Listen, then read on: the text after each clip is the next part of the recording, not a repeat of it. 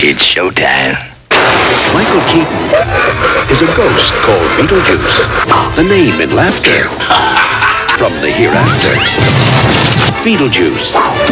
Rated PG. Sneak preview March 26th.